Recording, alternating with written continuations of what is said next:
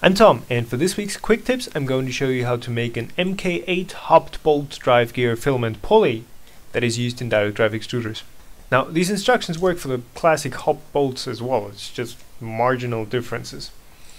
So I've heard people don't like watching long machining videos, so I'm just going to cut this down and tell you that there was some turning, drilling, cutting, turning, milling, drilling and tapping involved uh, to get me this stainless steel blank that has a 5mm bore, a M3 thread, for the grub screw and uh, has an outer diameter of 8 millimeters and it's 11 millimeters long. So for the actual hobbing you can use a lathe, a mill, a drill press or a cordless drill. But if you have a mill or a lathe available, use those since those give you very fine control about how fast you're actually hobbing the blank. So I had made a classic hobbed bolt before and uh, for that I had used a printed bearing holder which worked pretty well. So I tried that again, but as it turns out, these are sliding around in the vise pretty badly. So I designed an updated part, but while that was printing, I, I thought to myself, well, you have scrap metals and, and stuff sitting around. Why not use that? And I did.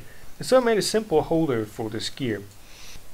Now, for the actual hobbing, you need to be very aware that you're actually abusing this tap. Taps are not made to hob these stainless steel sleeves. So the most important thing is to go slow and to use plenty of lubrication.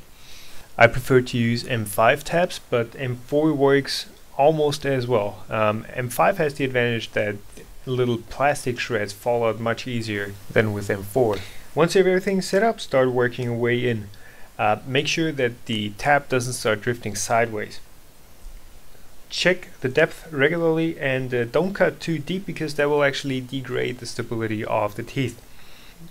The ideal depth is around the point where the tap cuts all the way from the from the very top of the teeth to the bottom.